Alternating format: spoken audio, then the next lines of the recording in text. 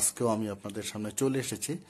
তো আজকে আমি আপনাদেরকে জিওটেকনিক্যাল ইঞ্জিনিয়ারিং এর উপরে দুইটা খুবই ইম্পর্টেন্ট ম্যাথমেটিক্যাল প্রবলেমের সলিউশন করে দেখাবো। তো এর আগেও আপনারা তিনটা ভিডিও দেখেছেন জিওটেকনিক্যাল ইঞ্জিনিয়ারিং এর উপরে। আজকে হচ্ছে এটার উপরে জিওটেকনিক্যাল ইঞ্জিনিয়ারিং এর উপর চার নম্বর ভিডিও তো কথা না বাড়িয়ে ভিডিওটি শুরু করা যাক।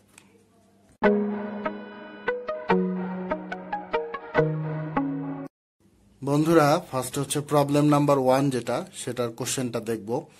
এখানে বলা হয়েছে compute consolidation settlement of a two point five metre thick clay layer due to an increase of thirty kilo newton per metre square pressure at the mid height of the layer if vertical stress at the mid height of the layer is forty kilo newton per metre square given initial void ratio e naught equals to 0.7 and compression index CC equals to 0.25 অর্থাৎ আমাদের এখানে বের করতে হবে হচ্ছে consolidation settlement অর্থাৎ SC এর value যেটা, সেটা আমাদের বের করতে হবে। তো ফার্স্টে গিভেন ডাটা যে ইনফরমেশনগুলো আছে, সেগুলো লিখে ফেলি।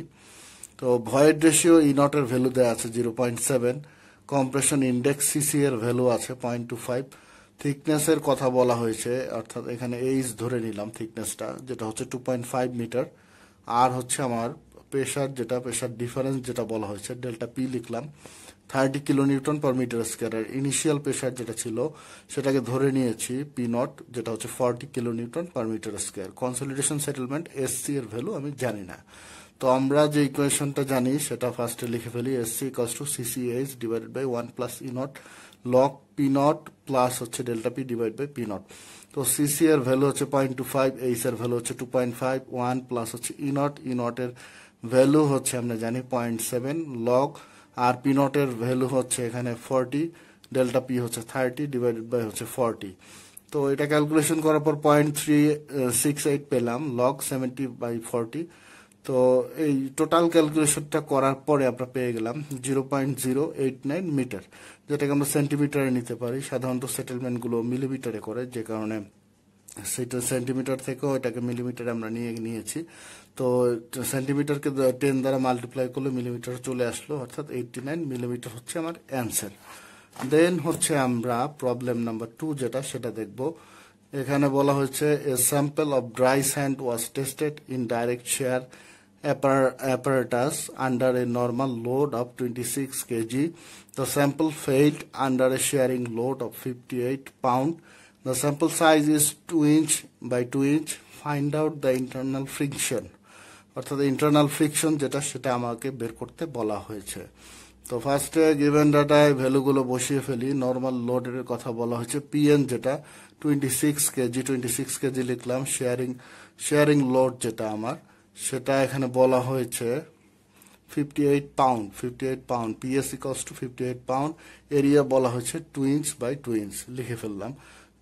টু ইন্টু টু করলে ফোর ইঞ্চ স্কোয়ার পেয়ে গেলাম। আর পিএন এর ভ্যালু এটা কেজিতে আছে, আর এটা হচ্ছে পিএস যেটা শেয়ারিং লোড সেটা আছে পাউন্ডে তো কেজিটাকে আমরা পাউন্ডে কনভার্ট করব, এর জন্য টু পয়েন্ট টু দ্বারা কেজির যে ভ্যালুটা সেটা মাল্টিপ্লাই করলে পাউন্ডে চলে আসলো fifty seven point two pound internal friction phi এর ভ্যালু আমরা জানি না ইকলস টু হোয়াট তো শেয়ার স্ট্রেসটা ফার্স্টে আমরা বের করে ফেলব। শেয়ার স্ট্রেসের ইকুয়েশন আমরা জানি লোড বাই এরিয়া তো লোডের কথা এখানে নর্মাল লোড বলা আছে। না শেয়ার স্ট্রেস যেহেতু, সেটা হচ্ছে শেয়ারিং লোড যেটা।